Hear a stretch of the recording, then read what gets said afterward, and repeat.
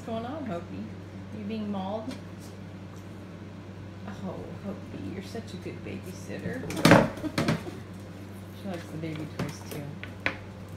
We got a Mr. Marshall over there, and Doc's playing with Hopi, and there's Silly Hoover. There's Kirby. And there's Kitty. Oh no, oops, Kitty just fell off. What are we missing? Oh, there's Festus. No, wait. That's Festus over there. I Get myself all confused. Festus is sitting by the skateboard. They're winding down. There's Doc. There's Marshall.